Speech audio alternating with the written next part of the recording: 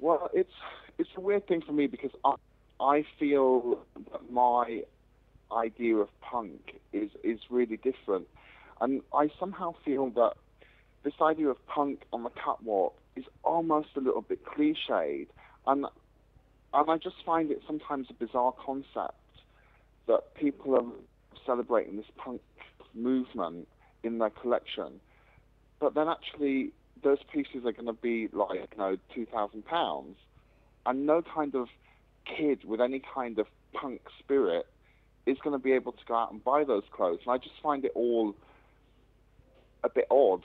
Mm. Um, and I think my perception of punk often comes more from the street, or often comes from a slightly left field, you know, angle. Or you, I, I see something different in punk, and and for me, I don't know, a straight up runway look is.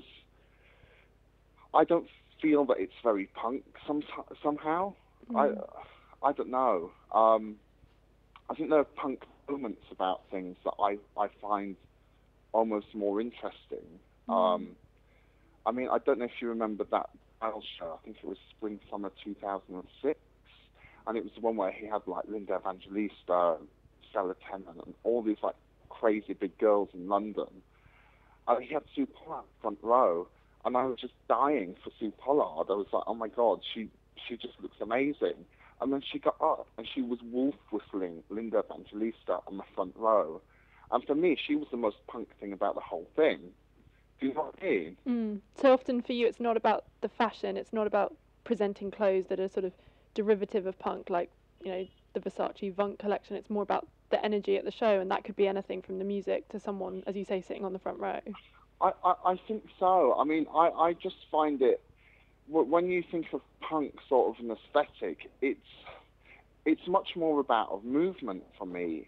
And you know, I find people like you know Stephen Sprouse or or even somebody like Patricia Field, and to a certain extent, you know, when Vivienne first started and she had you know the sex shop, and it just feels a bit more real because it's more accessible to people. Mm. Um, yeah. I find the idea of accessibility really interesting because you mentioned that right at the start as well when you said you know a runway collection it can't be punkish because sort of kids can't afford it. So do you think there's always going to be this kind of you know fashion can never be fashion I clo- or think- clothes can never be punk. It's only ever going to be the energy that can be punkish. Yeah, that's what I feel. And I mean, for me, you look at you look at the Met Ball, that was like scene. Hardly anybody understood what punk was, and you'd see people turning up in like pink ball gowns. I think it was Gwyneth Paltrow was wearing this really bland sort of ball gown. And she's like, "Well, to me, this is punk." It's like you've never fucking seen punk in your life. Mm. It's and and I, I it I find it hard to yeah translate this idea, this concept of people sort of pushing boundaries and, and, and moving away from being really mainstream when you know they're selling this idea to, to people that work in the city or in Wall Street because they're the only people that can really afford to, to buy into that. Mm. I find it interesting because Lisa Armstrong talked a little bit about this in the interview we did with her, where she said, you know, people are very respectful of punk and they take it very seriously. But she was like, you need to remember that it, that punk itself was kind of a borrowed movement. You know, it ripped off other other collections and other fashions. And do you find do you think it's important that people take punk seriously and say, you know what, it can't just be something that high fashion kind of commercializes, or do you think we should? Do you think people it's okay for people to kind of not laugh at it, but kind of play with it a bit? Or do you think punk should be more respected? I guess that's what I'm asking. I mean, um, I think there, you know, there is a level of respect for punk, but then it comes down to that thing: what is punk? Do you, th- that's what sort of I find myself questioning, because you know, for me, grunge is almost punk. You know, grunge is.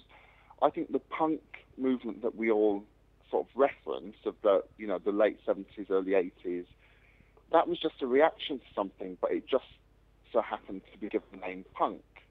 But I find a lot of other movements, you know, particularly, you know, more recently, like the grunge stuff, and that is almost in spirit punky. Mm. And I just find it it, it's you know it's hard to define exactly what it is. And as I said earlier, people like Patricia Field with her shop that's selling all kinds of batshit crazy stuff. I think that's really punk Hmm. because you know you're not going to get somebody that's been, you know, twelve thousand pounds in Chanel, wanting to go in and wear that crazy stuff. Hmm. I think it's the kind of attitude of the people that are going to, you know, just pushing things a bit further. So does anyone in fashion today, do any of the designers today have that attitude? Do you think?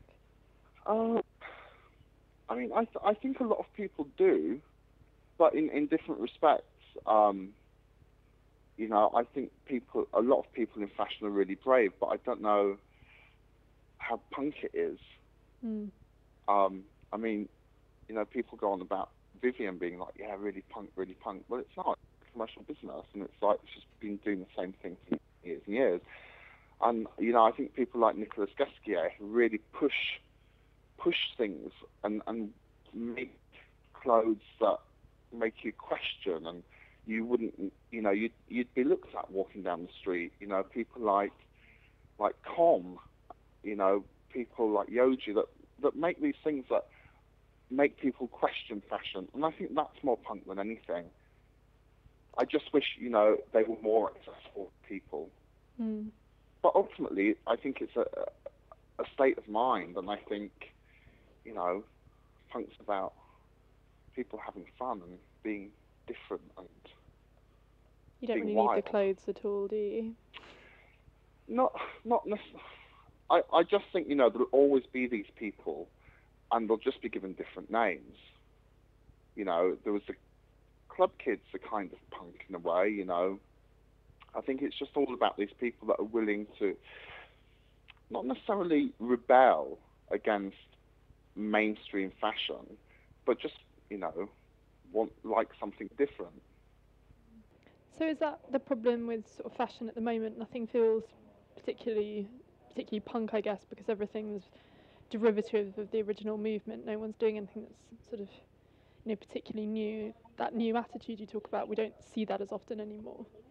It's very very rare that something comes along and feels completely new, and I don't think there's anything wrong with referencing. I, you know, I just like to be more fun and colourful. And for me, you know, it is really people like Stephen Sprouse, and you know, punk doesn't really have to be dark, and it's like I I like the the the more fun side of punk, and like a bit of colour and craziness. I don't know if you ever saw that interview. I think it was Russell Harty interviewed Vivienne Westwood like way back. I think it was probably in the in the eighties Yeah, no, I have seen that. and and like I just thought the way that she was on there, like they were all just laughing at her and laughing at her clothes, and I just thought, I love you. You you you don't give a shit about this man, this this really average TV presenter, and you know you, you're really embracing these outfits, and it's really really brilliant that you are. And actually, Janet Street Porter was amazing on that. She's the only one that turned around and was like, you Yeah, know, this woman's amazing. it's like Craig Green, David Gandy, but a long Oh. time before. Oh yeah, but that's a, that's yeah, that's a whole nother story. But I mean, the, the whole punk thing, you can just talk about it for ages and ages and ages. But I just think the ultimate question is, how do you define what punk is? Hmm. And you can see by the Met Ball that people's definition of punk are so insanely different. Hmm. I mean, whatever you think about it, Madonna really got that punk thing at the Met Ball. Hmm. I hated the outfit. I thought she she was too old for it. But at least she really embraced the theme. Mm. So is it that thing of you know like really embracing the theme, really getting into something? What you liked about Su at Giles then? There's a real etiquette, isn't there, when you're at a big show and you know you sit down you you're well behaved. And for her just to not give a shit and start wolf whistling Linda, I just thought it was the most genius thing I'd ever seen. Everyone was like, "Oh my God, Su Pollard stood up on the front row whistling." it was just too brilliant, and for me, that that's so punk. You're gonna have to do that next season. Can you imagine?